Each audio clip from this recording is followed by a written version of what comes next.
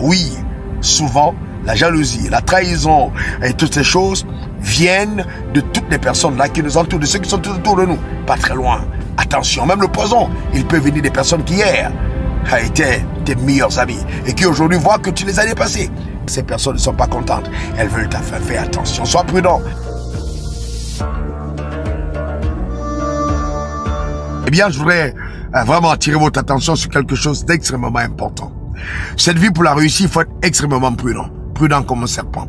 La Bible dit, l'ami aime en tout temps et dans le malheur il se montre mon frère. Cependant, vous voyez, il y a des gens qui vont vous aimer, vous apprécier, simplement quand les choses de votre côté n'ont pas encore décollé. Vous venez à elle pour avoir un fond de parfum, pour avoir un peu de dépannage, vous avez deux, vous les appelez, vous avez une facture que vous n'arrivez pas à payer, vous les sollicitez, eh bien ces personnes vous aiment, apparemment. Parce qu'elles sont toujours prêtes pour vous. Mais un jour, alors arrive euh, le changement de saison. Dieu décide de te faire transiter dans une autre dimension, te fait passer en autre palier c'est la fin de la galère. Alors ces personnes, subitement, changent d'attitude à votre égard. Elles ne sont pas contentes. Elles étaient supposées être contentes, mais elles ne le sont pas. Pourquoi? Parce que vous ne viendrez plus chez elles. Allez pour, euh, justement, commander. Vous ne serez plus à l'aéroport pour les attendre lors de leur venue de voyage. Mais non, aujourd'hui, vous aussi, vous pouvez voyager. Vous aussi, vous pouvez signer des contrats importants. Vous aussi, vous allez vous marier. Et même au mariage somptueux. Et ces personnes commencent à dire, hmm, il y a quelque chose qui n'est pas clair. Ce n'est pas clair parce que ça arrive chez toi, pas chez elles. Il y a des personnes qui n'apprécient le bonheur que quand le bonheur a frappé à leur porte. Mais hélas, quand ce bonheur frappe à la porte de quelqu'un d'autre, ils sont toujours en train de vouloir remettre en question la base de ce succès. C'est pas bien, c'est satanique et c'est méchant. Nous devons apprendre à nous réjouir de ce qui arrive aux autres. C'est extraordinaire. Le Dieu qui nous a créés.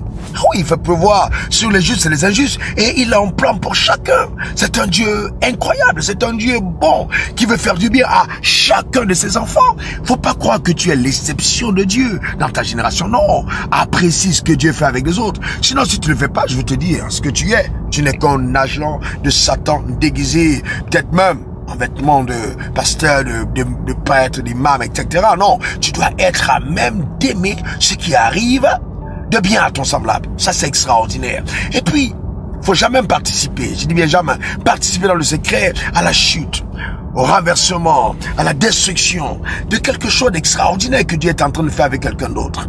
Ah non, non, non, non, faut jamais le faire. Bien, je voudrais t'encourager. Tu as été victime de toutes ces choses? Prends courage et suis tes larmes, continue d'avancer. C'est normal que ta vie soit jalousie. Quand ton étoile se met à briller, il y a toujours une adversité qui se lève. Tiens ferme.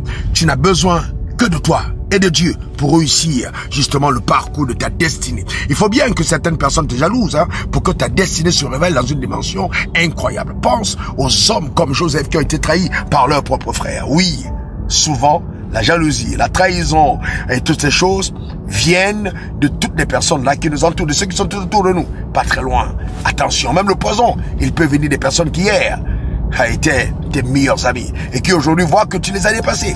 Ces personnes ne sont pas contentes. Elles veulent ta fin. Fais attention. Sois prudent. Ta vie est tellement précieuse. Il faut pas avoir de regrets au cimetière, ok? Que Dieu te bénisse, abondamment. Prends soin de toi et que sa protection soit sur ta vie. Je décrète, déclare, établis sur toi en vertu des pouvoirs que Dieu m'a souverainement conféré qu'aucune action des ténèbres contre ta vie ne sera prospérée. Ils te feront la guerre, mais ne te vaincront pas. Personne ne saura arrêter ce que Dieu a divinement commencer au travers de toi. Allez, prends soin de toi, on est ensemble. On se dit à la semaine prochaine. Que Dieu te bénisse abondamment. Bye bye. Raoul Wafou pour des.